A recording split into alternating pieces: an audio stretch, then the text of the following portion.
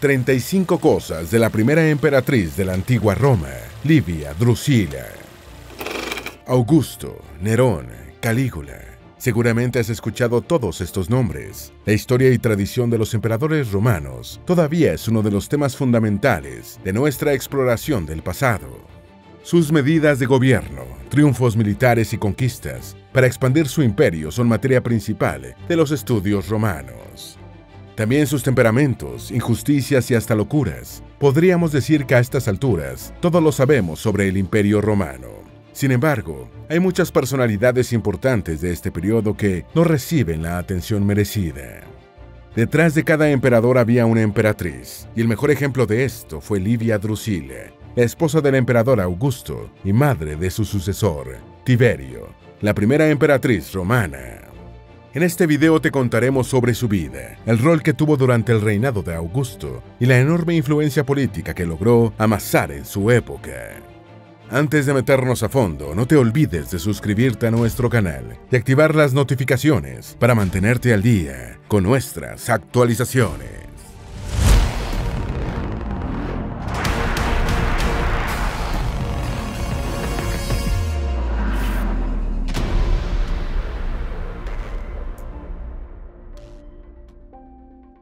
Número 1. Livia Drusila nació en una familia privilegiada. Livia nació el 30 de enero del año 59 a.C. en Roma, la capital de la República Romana.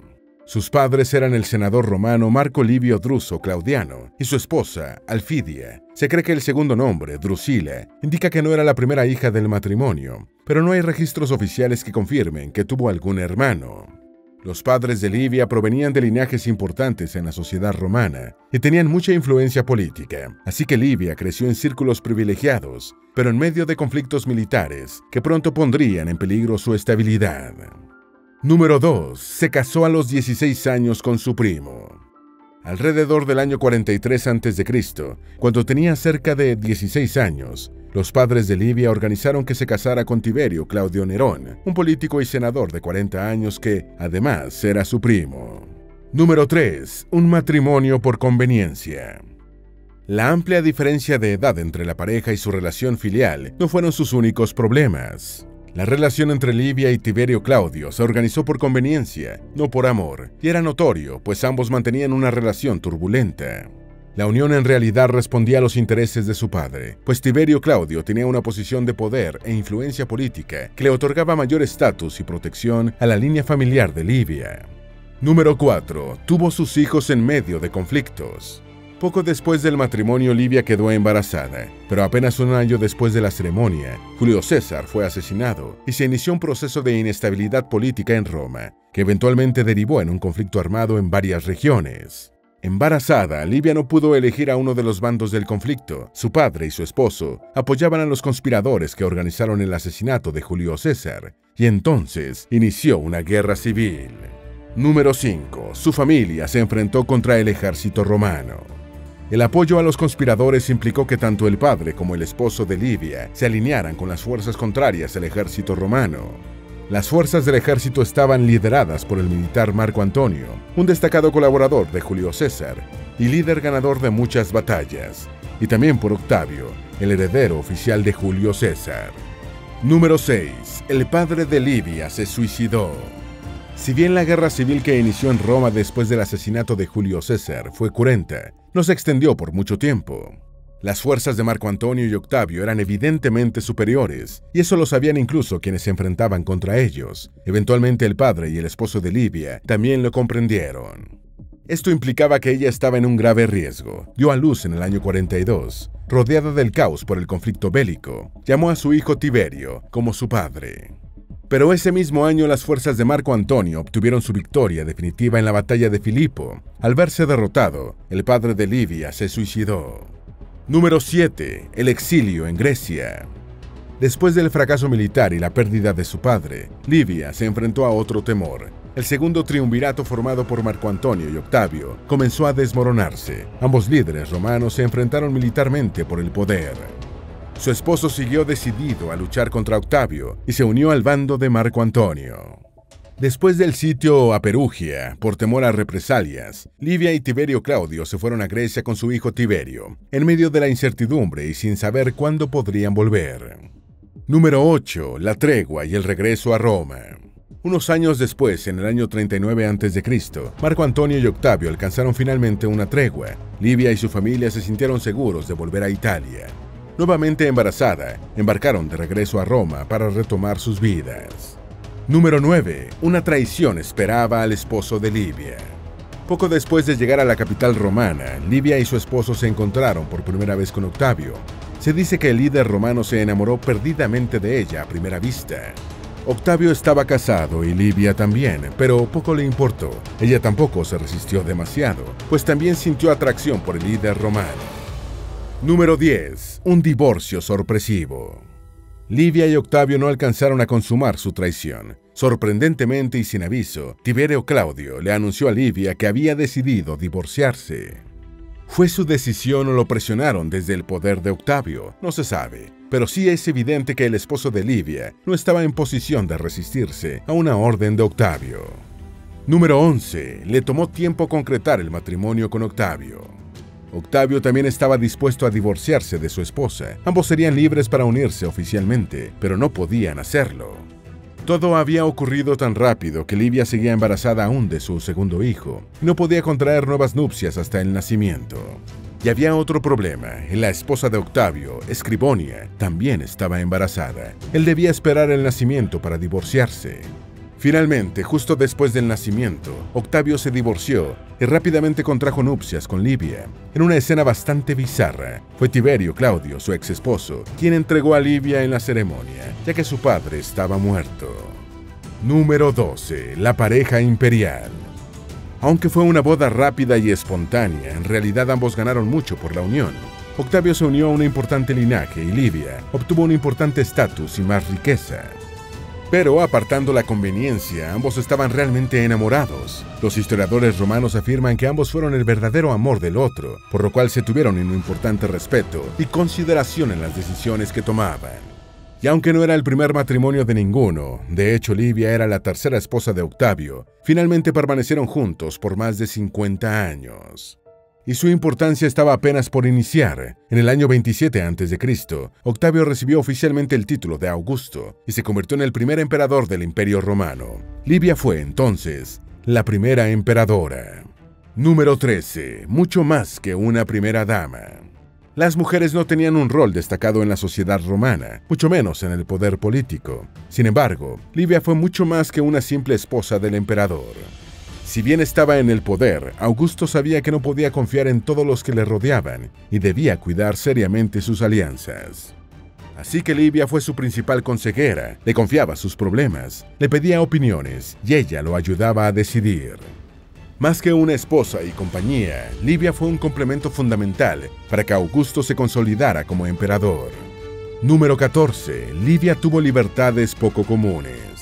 La posición de emperadora vino con diversas ventajas para Livia, quien gozó de una independencia poco frecuente en las mujeres romanas. Con el apoyo de Augusto, Livia pudo manejar sus propias finanzas de manera independiente. Era propietaria de minas de cobre, pantanos de papiro, entre otras áreas. Esto, por supuesto, también le dio influencia económica y un estatus privilegiado. Número 15. La imagen ideal de la mujer romana. Siendo la primera emperatriz romana, Livia se convirtió en el modelo ideal de la mujer en el imperio, y aunque hubiese sido fácil emborracharse de poder y riquezas, en realidad, Livia mantuvo una imagen muy modesta. Sus atuendos eran sencillos, no usaba joyería exageradamente ostentosa y nunca mostró su estatus privilegiado de forma excesiva. De hecho, la casa de la pareja no era un palacio, tenía una vivienda hermosa, pero no enorme. Es más, ella ayudaba con las labores de limpieza. Número 16. No pudo tener hijos con Augusto. Aunque tuvo dos hijos antes de su matrimonio con Augusto, Livia no pudo tener hijos con su nuevo esposo. Quedó embarazada en una ocasión, pero el bebé nació muerto. Luego volvieron a intentarlo, pero no lograron concebir una vez más. Número 17. Empujó a sus propios hijos al poder. Si bien Livia mantenía una imagen modesta ante el mundo, también tenía mucha ambición por mantener y consolidar su poder. Ante todo, esperaba que su hijo se convirtiera en el próximo emperador. Ella no había podido darle un hijo a Augusto, y el emperador solo tenía una hija, mujer, Julia. Pero Julia ya tenía tres hijos varones que tenían prioridad en la línea de sucesión. Número 18. Acabó con el matrimonio de Tiberio. Decidida a que el trono lo mantuviera su descendencia, Livia arruinó el matrimonio de su hijo Tiberio. El joven, que tenía una personalidad introvertida y vivía felizmente en un matrimonio fuera de roles de poder, tenía una relación tensa con su madre. Livia convenció a Augusto de presionar a Tiberio para que abandonara a su esposa, Vipsania, quien estaba embarazada. Número 19. Organizó un matrimonio más conveniente. Tiberio cedió a las presiones de los emperadores, aunque a regañadientes, y entonces Livia la empujó a casarse con la hija de Augusto, Julia, su hermanastra. Ella era viuda y tenía una imagen un tanto turbia públicamente, pues se sabía que había tenido varios amoríos. En el año 12 a.C., Tiberio fue forzado a casarse con la hija del emperador. Número 20. Livia convirtió a Tiberio en el sucesor oficial. El matrimonio forzado provocó que tanto Tiberio como Julia sintieran rencor mutuo, rencor que Tiberio también guardó contra su madre. Después del matrimonio, Augusto adoptó oficialmente a Tiberio como su hijo, convirtiéndolo en el heredero oficial al trono. Número 21. Livia era conocida por su manipulación. Quizás uno de los rasgos más evidentes de la personalidad de Livia fue su capacidad para manipular y convencer a otros de actuar de acuerdo con su conveniencia. Incluso con sus hijos, Livia siempre conseguía que siguieran sus instrucciones, lo cual llenó a muchos de rencor, especialmente a su hijo mayor, Tiberio. Después de seis años de infeliz matrimonio con Julia y de la muerte del hijo pequeño que tuvieron, Tiberio decidió alejarse de Roma. No se divorció, pero se fue de forma solitaria hasta Rodas, alejándose de todos para vivir su duelo. Número 22. Livia también perdió a uno de sus hijos. Mientras Tiberio se alejaba emocionalmente, el hijo menor de Livia, Druso, parecía mantener una buena relación. Su rol como hermano menor le restaba mucha presión, así que se dedicó a su rol en el ejército, escalando posiciones militares. Se casó con la sobrina favorita de Augusto y se convirtió en un general muy respetado. También era considerado una posible opción para ser el siguiente emperador, y Livia parecía inclinada a favorecerlo. Pero en el año 9 a.C. murió en batalla, lo cual llenó a Livia de un profundo dolor y un largo duelo, Número 23. La muerte de Augusto. En los años que siguieron a la adopción de Tiberio como heredero, Augusto comenzó a perder facultades. Dejó de hablar. Se alejó de las personas. Eventualmente solo se comunicaba con su esposa mediante cartas. La salud del emperador empeoró gradualmente. Después de más de 40 años como emperador de Roma, Augusto murió. Livia lo acompañó hasta el último de sus días y sufrió el duelo por su pérdida. Después de todo, estuvieron juntos por más de cinco décadas. Esto, además, traía serios problemas. Tiberio realmente no quería ser emperador y aún mantenía rencor contra su madre. Número 24. Los rumores contra Livia. Pero fuera de las relaciones familiares, Livia tuvo que enfrentar otros problemas graves. La muerte de Augusto marcó una sombra de sospecha sobre ella. En los últimos años, muchos de quienes estuvieron en la línea de sucesión murieron, incluyendo sus tres nietos, los hijos de Julia. Esto atrajo sospechas sobre Livia, a quien se le acusó de limpiar el camino para asegurar que alguno de sus hijos heredara el trono. Después de la muerte de Augusto, los rumores se multiplicaron. Algunos se atrevieron a acusarla de asesinar a su esposo. Afirmaban que Livia mintió sobre la fecha de la muerte para darle tiempo a Tiberio de llegar a Roma desde Rodas. La verdad es que apenas Tiberio llegó a la capital se anunció la muerte del emperador. Podría ser una coincidencia, pero demasiado conveniente para los planes de la emperatriz. Número 25. Su rol como madre imperial y una adopción póstuma. Quizás uno de los aspectos más sorprendentes de la muerte de Augusto fue la decisión de adoptar a Livia, la cual dejó en su testamento. Así, Livia pasó a llamarse Julia Augusta y se convirtió en parte de la familia Juliana. Esta decisión era relativamente frecuente en las familias adineradas romanas, pues facilitaba el reclamo y transferencia de bienes y riqueza. Mientras tanto, Tiberio ascendió al trono del imperio. Tiberio, que ya superaba los 40 años, aceptó el cargo a regañadientes, y así Julia Augusta se convirtió entonces en madre de un emperador, manteniendo su poder, influencia y estatus político. Número 26. Sacerdotisa de Augusto. Después de su muerte, Augusto fue deificado y se le comenzó a adorar como una deidad. Era el honor más alto que se podía otorgar a una persona, un gesto poco frecuente en la sociedad romana. Julia Augusta, devota de su marido en vida, decidió convertirse en sacerdotisa para adorar su imagen. Hasta el momento, las únicas mujeres que practicaban el sacerdocio eran las vírgenes vestales. Designar a Julia como una de ellas fue un honor extraordinario. Número 27. Tiberio se avergüenza de su madre. El nuevo emperador Tiberio era verdaderamente modesto. Con el paso del tiempo no perdió su carácter introvertido. El rechazo hacia su madre aumentó a medida que ella aprovechaba su poder y posición social. Se sentía avergonzado por los continuos honores que Julia Augusta asumía y además temía que ella abusara de su poder y se sintiera por encima de la autoridad imperial. En varias ocasiones, Julia Augusta usó su influencia para salvar a diversos amigos de la justicia. Además, en una ocasión ordenó construir una estatua para Augusto y puso su nombre en la placa conmemorativa por encima de Tiberio. La gota que derramó el vaso fue la decisión del Senado de dirigirse a Tiberio no solo como el hijo de Augusto, sino también como hijo de Livia, creando una jerarquización que privilegiaba a su madre. El Senado veía a Julia Augusta como una aliada que podía ayudarlos a contener políticamente al emperador, y ella asumió ese rol sin importarle la relación con su hijo. Número 28. El quiebre con Tiberio. Después de la muerte de Augusto, Julia Augusta aumentó su ambición de poder, se obsesionó con mostrar su autoridad y ejercer su influencia. Quería mantener el nivel de obediencia y adulación que recibía cuando era la emperatriz. Esta obsesión se demostraba especialmente en actos públicos, cuando Julia Augusta se empeñaba en mostrar primero su nombre y su relevancia. Tenía una cierta actitud de merecimiento, se sentía con derecho a todo y a todos. Sus abusos de poder y la necesidad de imponerse por encima de su hijo llevaron a Tiberio a cortar definitivamente con su madre. Harto de sus manipulaciones, el emperador se marchó a Capri para escapar de ella y de sus planes. La relación entre ambos se deterioró aún más y con el tiempo se volvió irreparable. Número 29. Livia maltrataba a su nieto.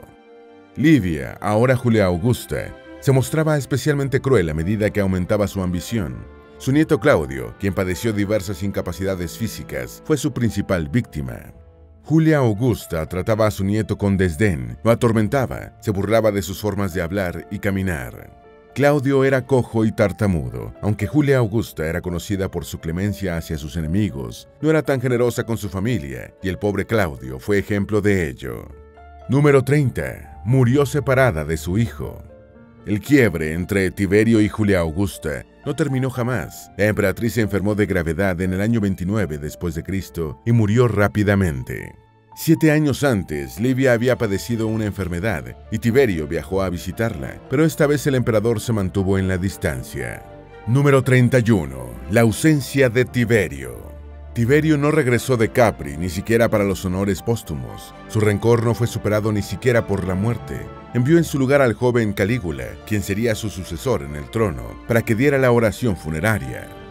Número 32. No tuvo honores póstumos. El rencor de Tiberio fue tan grande que incluso prohibió y vetó todos los honores póstumos hacia su madre. El Senado quería deificarla, como hizo con Augusto, pero el emperador prohibió totalmente cualquiera de estas medidas. Número 33. La restauración de su reputación. Irónicamente fue Claudio, el nieto sujeto a las burlas de Julia Augusta, quien restauró la reputación de su abuela, al ascender al trono como emperador, sucediendo a su padre, Claudio, permitió la deificación de Julia Augusta y su reconocimiento en todo el imperio. Así, Livia, quien ya se había convertido en Julia Augusta, pasó a conocerse como Diva Augusta. Se le inmortalizó. Su imagen era apaciada en los Juegos Públicos. Se construyó una estatua al lado de la de su esposo Augusto, en el templo de Augusto, y diversas mujeres se convirtieron en sus sacerdotisas. Número 34. El legado de Julia Augusta. Si bien muchas veces se le recuerda como una mujer ambiciosa de poder, Julia Augusta es una de las pocas mujeres que logró apropiarse de un lugar en la historia romana. Tenía una imagen y disposición muy adelantada para su época. Su independencia, poder e influencia marcaron las bases del imperio romano. Número 35. Matriarca de emperadores. Los movimientos políticos de Julia Augusta garantizaron toda una línea de sucesión entre sus descendientes. Así, hasta ella se pueden rastrear numerosos hombres de poder. Es ancestro de todos los emperadores de la línea Julio-Claudia, incluyendo a Tiberio, Claudio, Calígula y Nerón.